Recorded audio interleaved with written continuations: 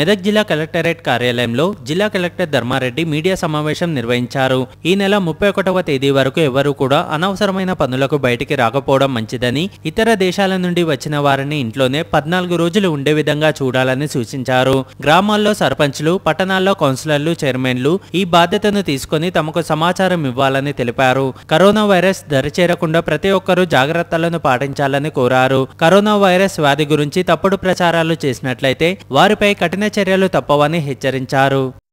ముఖ్యంగా మనకి ఈ కోవిడ్ నైన్టీన్ కోవిడ్ నైన్టీన్ అనే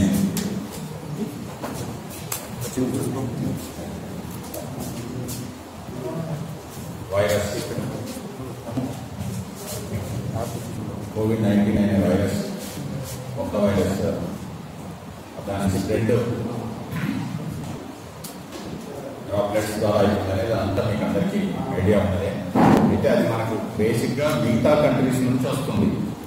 మన దగ్గర మన వాళ్ళకి ఇంతవరకు ఎవరికి రాలేదు. నిన్నటి వరకు పదహారు మందికి వచ్చిందన్న పదహారు మంది కూడా విదేశాల నుంచి వచ్చిన వాళ్ళే.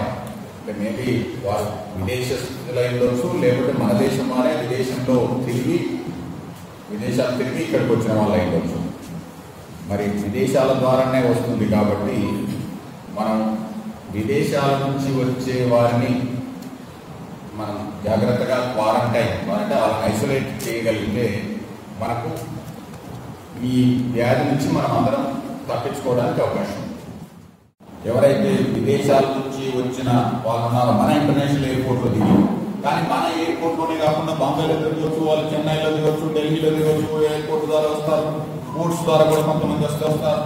వాళ్ళందరూ వచ్చే వాళ్ళందరూ కూడా మళ్ళీ రకరకాల జర్నీ మోడ్స్లో అంటే బాంబేలో దిగి వాళ్ళు బస్సులలో రావచ్చు ఆ ట్రైన్లో రావచ్చు కార్లలో రావచ్చు ఢిల్లీలో దిగి ఏదైనా ఏదైనా రావచ్చు ఎవరు వచ్చినా సరే మన గ్రామానికి అంటూ ఎవరు కొత్త వాళ్ళు వచ్చినా సరే విదేశాల నుంచి వచ్చిన వాళ్ళు మన మన ఊరు వాళ్ళే విదేశాలు తిరిగి వచ్చినా సరే అంటే దుబాయ్ వెళ్ళి మన వాళ్ళు వచ్చి రావచ్చు. లేకపోతే సింగపూర్ వెళ్ళి రావచ్చు. లేకపోతే ప్రపంచంలో ఆల్మోస్ట్ అన్ని దేశాలకు ఉంది ఇప్పుడు ఏ దేశము అంటుకోకుండా లేదు. అందుకొరకని ఏ దేశం నుంచి వచ్చినా సరే వచ్చిన వాళ్ళు ఎవరైనా వచ్చిన వాళ్ళు ఉంటే ఇమీడియట్గా మనకు సమాచారం ఇస్తే వాళ్ళని మనం వాచ్ చేయడానికి అవకాశం ఉంటుంది. వాళ్ళని పద్నాలుగు రోజులు వాళ్ళ ఇంట్లోనే ఉండేట్టు వాచ్ చేయడానికి అవకాశం ఉంటుంది. వాళ్ళకి ఏమన్నా జబ్బు ఏమన్నా ముదురుతుందన్నట్టుగా లేకపోతే ఇటువంటి లక్షణాలు ఏమన్నా వస్తే ఇమీడియట్గా హాస్పిటల్కి పంపించి వాళ్ళని మనం వాళ్ళని రక్షించుకోవడానికి అట్లాగే వాళ్ళ ద్వారా అటువంటి వ్యాధి మిగతా వాళ్ళకి ఎవరికి సంక్రమించకుండా ఉండడానికి మనం చర్య తీసుకోవడానికి అవకాశం వస్తుంది దీని ద్వారానే మనం ఇటువంటి వ్యాధిని అరికట్టడానికి అవకాశం ఉందంటే ఇంకా మిగతా మందులు ఏమి లేవు. దీనికి ఇంతవరకు కూడా ఇచ్చే మందులన్నీ కూడా ఏమున్నాయి? సింప్టమాటిక్ అంటే జ్వరం వస్తే జ్వరం తగ్గడానికి కొరకు అది జాబ్ వస్తే తగ్గు తగ్గడానికి ఏదో మంది. అట్లా సింప్టమాటిక్ మందులు ఏమైనా అంటే రెగ్యులర్గా ఈ వైరస్ని నుంచి కాపాడడానికి కొరకు మనకు ప్రత్యేకంగా మందులు ఏమి లేవు. ఈరోజు వాళ్ళు అందరినీ క్వారంటైన్ చేసినా సరే కంట్రోల్ చేయలేని పరిస్థితి వచ్చింది. ఇటలీలో మీరు అందరూ చూస్తున్నప్పుడు చైనా దాటేసి ఇటలీలో ఈ రోజు నాటికి మూడు వేల నాలుగు వందల మంది వరకు చనిపోయారు. అంటే చైనా కంటే ఎక్కువైంది ఇటలీలో. అది మరి ఎంతవరకు వెళ్తుందో కూడా తెలియదు. అంటే ఏమాత్రం కొద్దిగా అజాగ్రత్తగా ఉంటే ఇది లైక్ న్యూక్లియర్ ఎక్స్ప్లోజన్ లాగా ఒకరి నుంచి ఒకరికి ఒకరి నుంచి ఒకరికి అందరికీ అంటువ్యాధి వ్యాపిస్తుంది.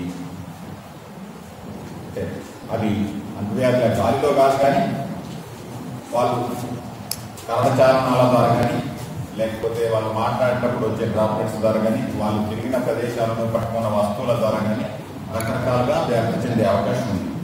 మరి అటువంటి వ్యాప్తిని మనం నిరోధించాలంటే మనం మన లోకల్స్ ఇంతవరకు ఎక్కడికి రాలేదు. అందువల్ల మనం విదేశాల నుంచి ఎవరు వస్తున్నారు? ఎవరు జర్నీ చేసి వచ్చారు? విమానయాన ప్రయాణం చేసి విదేశాల నుంచి వచ్చిన వారు వారిని గుర్తించి వారిని వాళ్ళ ఇళ్ళలో ఉండేట్టుగా చేస్తే మనం ఈ వ్యాధిని కంట్రోల్ చేయొచ్చు అనేది నిన్న జరిగిన మీటింగ్ యొక్క సారాంశం. అందువల్ల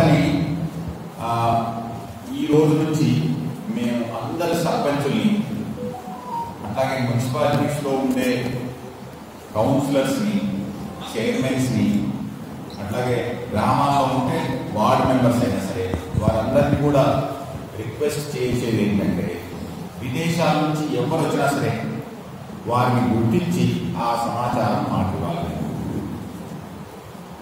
అది మనకు ఫిఫ్త్ మార్చ్ నుంచి ఇప్పటి వరకు అంటే మనం వాచ్ చేయాల్సింది పద్నాలుగు రోజులు వాచ్ చేస్తే సరిపోతుంది పద్నాలుగు రోజులు అంటే మనకి ఈరోజు రోజు ఆల్రెడీ ఇరవయో తారీఖు కాబట్టి ఫిఫ్త్ నుంచి తర్వాత వచ్చిన వారు ఎవరున్నా సరే ఆ వచ్చిన వారు ఒక పద్నాలుగు రోజులు పదిహేను రోజులు వాళ్ళ ఇళ్ళలోనే మనం ఉండగలిగితే మనకి ఈ వ్యాధిని పూర్తిగా మనకు అంటకుండా చూసుకోవడానికి అవకాశం ఉంది.